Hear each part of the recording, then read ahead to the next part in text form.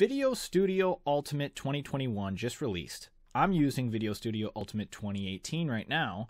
Let's see if it's worth the upgrade. So, what are we working with? Let's get a base level here. This video is just going to go through me rendering a basic video and comparing it to rendering the same exact video on the different versions. So, what am I working with here? I got uh, Windows 10 Intel i7 with 32 gigs of RAM, and the uh, graphics card I have is a GeForce RTX 2060.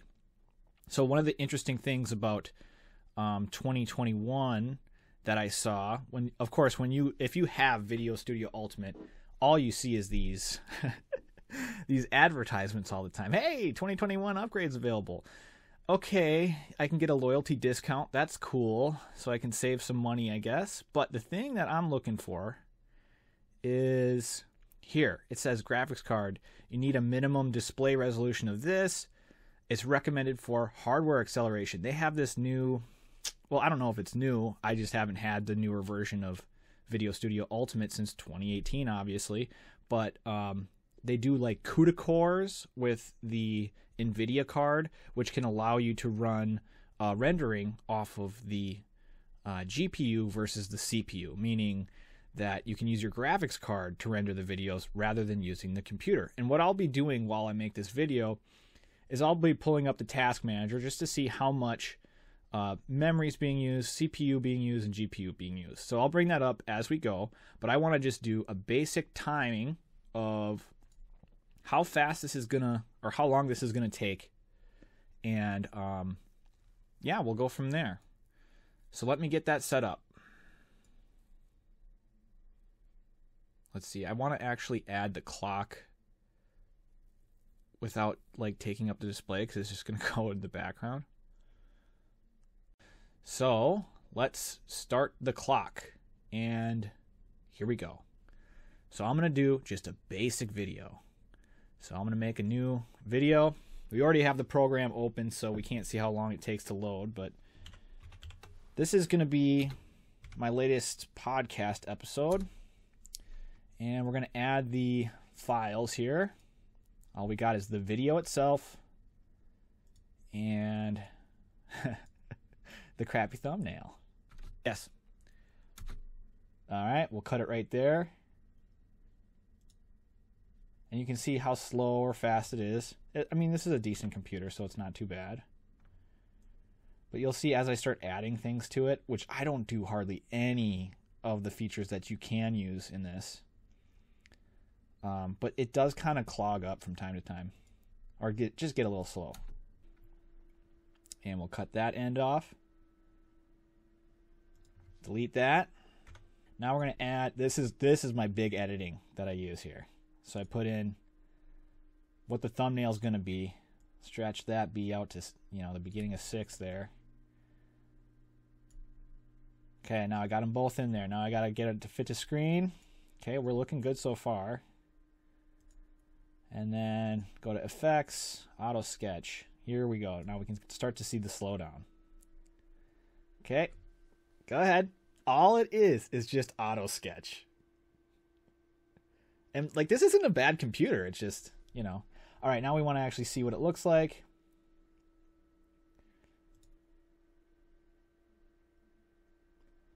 Okay. Welcome back to Random Book Club podcast. I'm your host Dan Van. Today we're covering chapter 9 of The Aeronauts Windlass by Jim Butcher. With me today, as always, Justin. Okay, so we've got that. So now we're ready. That's it. That's all I do. Very simple.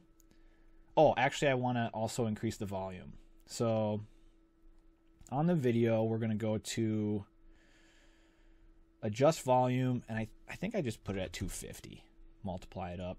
So it's a little louder on YouTube. Otherwise, it's really quiet for me. All right, so now we've got the volume adjusted. That's all we've done. We're going to go to share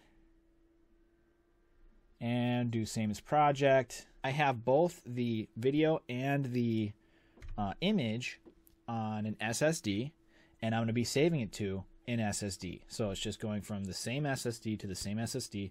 Uh, my settings, I'll show you what my preferences are. And I've got performance. Oh, actually, I don't have hardware acceleration or anything actually enabled because when I did enable it, it crashed. Like it would get to 99% and then it would crash. So I just turned them off. And so I guess it's a little slower, but it doesn't crash then. So here we go. Let's start. We're at four minutes. It took me four minutes to edit the entire thing with talking. And she going. So let's see. Um, let's take a look. Do we have Task Manager up right now? Let me check OBS. We do. Okay. So let's take a look together. You can see how the CPU has bumped up to 100%. Very high. This is a relatively short episode for me. I think it's only like 38 minutes or something like that. I usually do anywhere from 45 to an hour. So that's why I kind of want to do this is because this will this will be a good test. You know, if I'm doing an hour long video each week, it can take a long time just to render the video itself. And so I want to see if I can cut that down uh, significantly by, you know, if supposedly, you know, Corel 2021 can use the GPU uh, and I might have to actually, like, you know, go in the settings and play around with it and do a couple test runs before I actually do the final. But if I can get it to go faster, man, that would be sweet. We are coming towards the home stretch here. Let's get ready to hit stop on that stopwatch. There we go. Okay, 23 minutes. Let's go home. And let's get this upgrade, guys. Okay, we finished downloading it. Let's launch. Here we go. Let's get the timer going. This is a little unfair because I think I didn't start the timer for the other one until I was already in, but we can see what we can do. So let's add. Boom, video. Add. Boom, thumbnail. Okay. Whoops. Oh no, I didn't need, mean to go to template. It's got to upload the database. Oh boy. Um, but anyway, effects, my fave, auto sketch. Throw it in there. All right. So it's kind of the same as before. as far as the editing process, which isn't it's not terrible, but let's just see what it looks like. Um, let's fit this to the screen. Thinking hard here. Okay, here we go. So that looks normal. Okay, but now I want to actually see it with the project. So the actual thing itself looks like it's working, but from my project perspective, it does not look like it's working. But we'll just try it. Okay, so go to share, enable hardware, yep, enable smart render, sure. Okay, let's pull up the task manager. This is what I want to see, okay, guys? Start, start. Here we go, creating file. Now I'm looking at the GPU here. CPU is up to 100% again. It's rendering. You know, I thought it would use the GPU. NVIDIA CUDA. Oh, wait, CPU's at 32. So the GPU is at 13% and the CPU is at,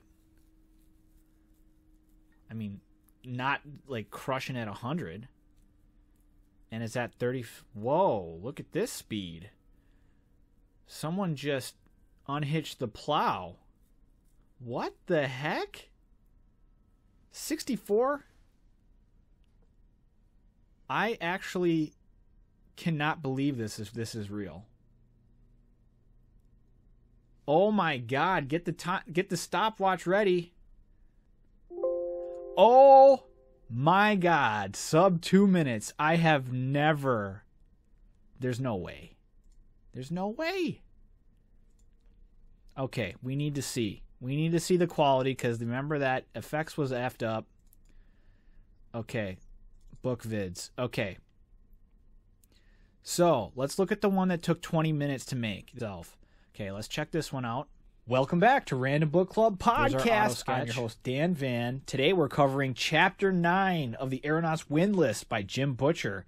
With me today, as always, Justin Mason. Oh, How you you know doing, what I bro? didn't do? I didn't add the um, the boost to volume, but I'll just redo it if it only takes two freaking minutes. Welcome back to Random Book Club Podcast. I'm your host, Dan Van. Today we're covering Chapter 9 of the Okay. Aeronauts Windlass by Jim Butcher. With me today, as always, There's a there's some Mason. issues. How you doing, bro? Oh no. Um, okay, so I've had that before. I don't know what causes that exactly. But um, we are on the right track though, dude. If it's sub two minutes, I don't mind redoing an entire video. But when when that occurs, that little like chipmunk thing, I don't know what that is, but when that occurs and it's it took you, you know, 20 to 40 minutes to render the video, it's devastating because you're never getting that time back. I don't mind giving up two minutes of my life, but now we can actually try this again. I don't know if I want to enable smart render or not. Maybe that was my issue. GPU is now at 48% off the bat. CPU is uh, jumped up to 60. So without the smart render, we are pressing our computer a little bit more, but it's far less than it was on 2018. 2018 we were at 100 CPU and like nothing on GPU. So I'm already liking that. Stop. Okay. So it cuts it by 12 minutes roughly, which is nice. But let's see. Does it make the cut? Welcome back to Random Book Club Podcast. I'm your host, Dan Van. That works, guys. Okay, so without Smart Render on, that 38 minute video took me almost eight minutes. That has cut my time in half uh, for rendering. That is wonderful, especially when I do the long ones. Video Studio Ultimate 2018 versus Video Studio Ultimate 2021. It's faster. Is it $100 faster? Is it $70, $80 faster? You know, $70 faster if you get the discount? I'll leave that up for you guys to decide. i this is a winner. Um, if that's how it is, if that's what I got to do, just turn off Smart Render. Uh, I'm still happy. I I think I'm going to keep this product. I'm going to play around with it some more. But man, if I can get that Smart Render to work without the chipmunk voice, dude, that was crazy. Quick note on Smart Render when I was editing the longer technical version of this video, uh, which you can check out in the link in the description below to see all the nitty gritty details, this video came out to be about 34 minutes in length, and I rendered it with Smart Render and without Smart Render. When I rendered it with Smart Render, it came out to be the file size of 4.2 gigabytes. Without Smart Render, it was 3.2, the same exact video. So Smart Render added an extra gigabyte for some reason. And because I had all these little clips and stuff in here to cut down just the regular video, uh, it did end up making Smart Render take longer than the two minutes we were seeing when I was editing just the podcast. So what I what I'm guessing is is the more edits you make to the video, the longer Smart Render is going to take. Where Smart Render really shines is if you have a really long video clip and it just renders that thing fast. And the quality between the quality difference between the two versions, whether you're rendering it with Smart Render or not, is negligible. You can't really tell the difference. But you can tell a difference in time. So my recommendation is if you're actually just using this product to make YouTube videos or whatever you want to do, just turn off Smart Render unless you can resolve the issues that I was running into with like chipmunk voice and stuff like that. Anyway, thanks for watching. And uh, if you're interested in books, check out my podcast.